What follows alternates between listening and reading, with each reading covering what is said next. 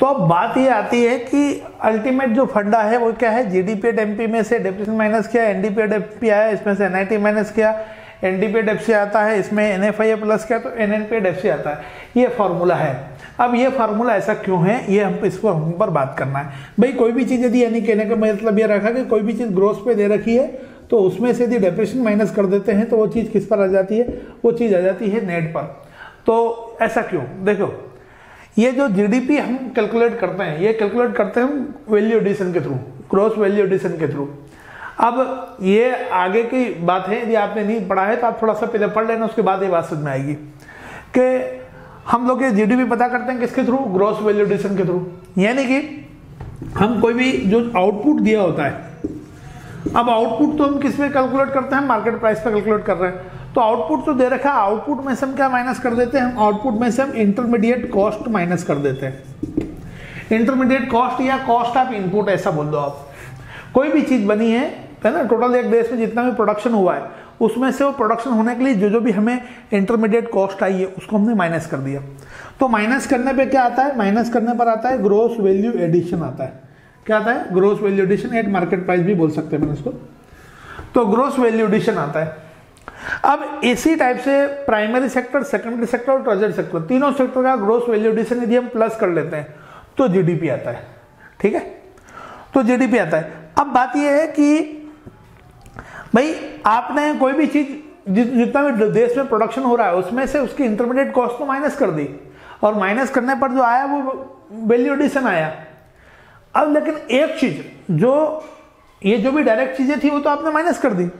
लेकिन एक इनडायरेक्ट चीज़ जो आपने माइनस नहीं की है, या जिसको माइनस करना जो है जिसको भी अब तक हम माइनस प्रोडक्शन के एस्पेक्ट में तो या प्रोडक्शन की यदि हम कॉस्ट देखें तो उसमें वो शामिल नहीं हो पाएगी। जैसे कि एक देश में जितना भी प्रोडक्शन हुआ, उसमें से उसमें, उसको लग, उस प्रोड्यूस करने में जो लगने वाली कॉस्ट है, वो तो माइनस हमने कर दी।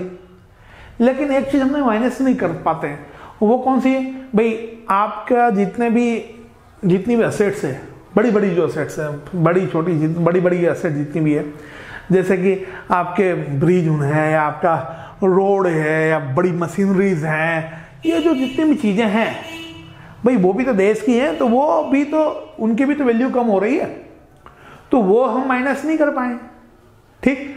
और आपने क्लास इलेवन से आप लोग पढ़ते आ रहे होंगे कि जो डायरेक्ट चीज़ें माइनस करते हैं, उसके बाद जो आता है उसको हम ग्रोस प्रॉफिट बोलते हैं। और फिर इनडायरेक्ट माइनस करते हैं तो नेट आता है। मतलब कि डायरेक्ट खर्चे माइनस करते हैं तो ग्रोस आएगा। और इनडायरेक्ट माइनस करेंगे तो नेट आएगा। इसी टाइप से यहाँ पर यदि हम बड़े एस्पेक्ट में देखें, एक देश के एस्पेक्ट में देखें तो डेप्रिसिएशन क्या है? इनडायरेक्ट है। इसके अलावा बाकी सब कॉस्ट क्या है? डायरेक्ट है। तो ये तो यहाँ माइनस हो गया तो ये क्या आ गया? ग्रोस आएगा भाई, आपको जैसे कि आपको टोटल सेल्स में से आप माइनस क्या कर देते हैं सेल्स में से भी आप माइनस कर देते हैं, या टोटल रेवेन्यू जो हुआ, या टोटल आउटपुट है, उसमें से भी आप जो है डायरेक्ट खर्चा माइनस कर देते तो ग्रोस आता है। तो इसी टाइप से यहाँ पर भी आउटपुट में से इंटरमीडिएट कॉस्ट को माइनस कर दिया आपने।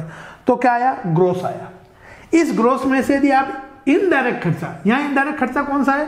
यहाँ इनडायरेक्ट खर्चा सिर्फ़ एक ही होता है, और उसका नाम है डेप्रिसिएशन तो वो डेप्रेशन को माइनस कर देंगे तो ये किस पर आ जाएगा? ये आ जाएगा एनवीए एट एमपी यानी कि जो ग्रोस होता है, वो नेट पर आ जाता है। तो ये जो फंडा है, ये जो फार्मूला है, ये फार्मूला में ग्रोथ से हम नेट पर क्यों आ रहे हैं? ग्रोथ से नेट पर इसलिए आ रहे हैं क्योंकि डिप्रेशन जो है, क्या है एक टाइप का मतलब इनडायरेक्ट खर्चा है। वो इनडायरेक्ट खर्चा हम माइनस कर देंगे तो हम किस पर आ जाएँगे? नेट पर आ जाएँगे। ठीक? ये बात रही। अब दूसरी बात की बात करते हैं। आई होप कि ये बात क्लियर हुई होगी। आगे बढ़ते हैं। नेक्स्ट जो बात है हमारी नेक्स्ट बात है वो ज़्यादा दमदार बात है। हम ऐसा बोल सकते हैं कि कोई चीज़ मार्केट प्राइस पे दे रखी, उसको हम फैक्ट्री कॉस्ट पर लाने के लिए हमें क्या माइनस करना पड़ेगा? एनआईटी माइनस करना पड़ेगा। तो ऐसा क्यों करना पड़ता है? या या ऐसा ही क्यों? ये फार्मूला है।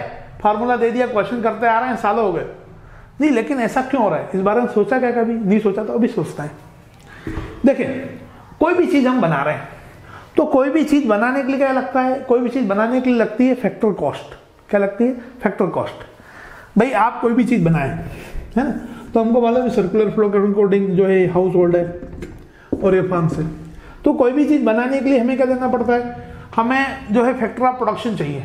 तो फैक्टर ऑफ़ प्रोडक्शन चाहिए तो इसके बदले में हमें फैक्टर कॉस्ट या फैक्टर पेमेंट करना पड़ता है। तो फैक्टर पेमेंट हम किसी चीज़ का करते हैं? जैसे कि रेंट है रॉयल्टी है इंटरेस्ट है है ना? प्रॉफिट है। प्रॉफिट भी कॉस्ट में ही आएगी, क्योंकि बनाने वाला भी तो हाउस होल्ड ही है। प्रॉफिट हो गया आपका रेंट रॉयल्टी इंटरेस्ट प्रॉफिट है ना? वेजेस सैलरीज ठीक। अब बात यह है कि इन सबको क्या बोलते हैं? इन सबको हम बोलते हैं फैक्टर पेमेंट बोल दो आप, या फैक्टर कॉस्ट बोल दो आप या फैक्टर इनकम बोल दो आप, एक ही बात है। यही बोलते हैं। अब कोई भी चीज़ मार्केट में जब आती है तो उसमें ये सब चीज़ें तो शामिल होती होती है। या जो ये पेन बनकर के आया है।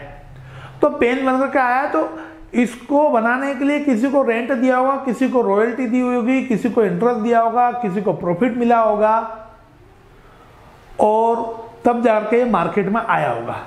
अब मार्केट में आया होगा और जब इसकी मार्केट प्राइस तय हुई होगी तो मार्केट प्राइस में एक और चीज़ शामिल हुई होगी। इन सब के अलावा, इन सब के अलावा एक और चीज़ शामिल हुई होगी। मैं मान लेता हूँ कि ये पेन बनाने के लिए दो रुपए का रेंट दो रुपए का इंटरेस्ट प्रॉफिट सब मिला जुला करके मान लेता हूँ मैं कि पंद्रह रुपए खर्च हुए होंगे। फैक्टर कॉस्ट जो है पंद्रह रुपए खर्च हुए होंगे।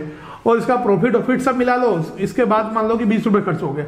तो बीस रुपए तो खर्च हो गए होंगे। कॉस्ट आ गई होगी फैक्टर कॉस्ट आ गई होगी बीस रुपए की।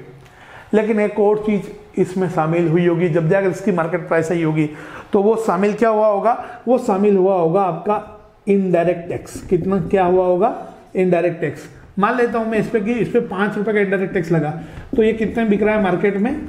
ये मार्केट बिक रहा है पच्चीस रुपए में। ठीक? तो हम यदि किसी भी चीज़ की मार्केट प्राइस में से, यदि हम उसमें से, उस पर लगने वाला इनडायरेक्ट टैक्स घटा देंगे तो किस पे बचेगी? वो बचेगी आपकी फैक्टर कॉस्ट पर। इसमें मैंने प्लस किया इनडायरेक्ट टैक्स तो ये मार्केट प्राइस आ गया।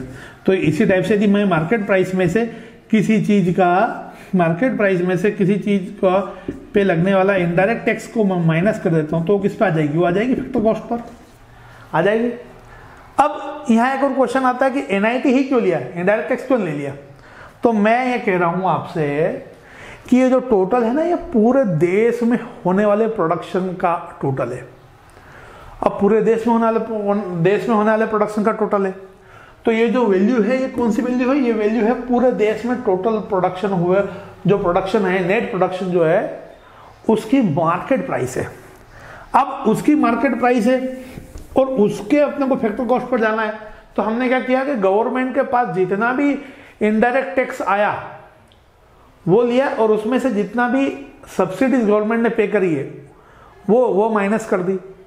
तो इनडायरेक्ट टैक्स में से सब्सिडी माइनस कर दी तो हमें क्या मिल गया? नेट इनडायरेक्ट टैक्स मिल गया। ताकि हमें जो है, हमें जो एक्चुअल वैल्यू है वो पता चल जाए। तो गवर्नमेंट के पास मान लीजिए, सौ रुपये आया और उसमें से बीस रुपये दे दिया तो अल्टीमेटली आया कितना? अल्टीमेटली तो अस्सी रुपये आया ना। तो हमें वो नेट अमाउंट लेना है। तो कोई भी चीज़ मार्केट प्राइस पर दे रखी हो तो इसमें से यदि हम एनआईटी माइनस कर देते हैं, या हम कहें कि नेट इनडायरेक्ट टैक्स माइनस कर देते हैं तो हमें क्या मिलेगा? वो चीज़ फैक्टर कॉस्ट पर मिल जाएगी। और ये ऐसा क्यों है? ये यहाँ से आपको समझ में आ गया होगा कि कोई भी चीज़ की मार्केट प्राइस में दो चीज़ शामिल होती है। एक तो फैक्टर फैक्टर कॉस्ट और दूसरी क्या होती है? दूसरी चीज़ होती है उसके, उस पर लगने वाला इनडायरेक्ट टैक्स इनडायरेक्ट टैक्स होती है। ठीक, इससे मिला के क्या मिल जाती है, वो चीज़ की मार्केट प्राइस बन जाती है। फैक्टर कॉस्ट मतलब ये सारी चीज़ें इनडायरेक्ट टैक्स तो इनडायरेक्ट टैक्स होता ही है। ठीक है? ये हुई बात, ये इसके पीछे रीजन है।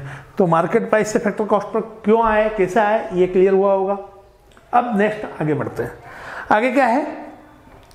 कोई चीज़ डोमेस्टिक पे दे रखी है तो उसको नेशनल पे आने के लिए N F I A plus क्यों करते हैं?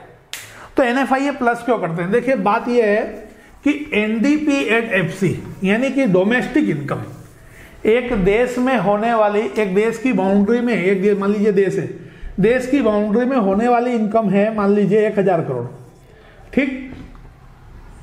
अब, एक हज़ार करोड़ देश के अंदर हुई मतलब देश की बाउंड्री के अंदर जनरेट की हुई इनकम है। एक हज़ार करोड़ रुपए मान लेते हैं अपन।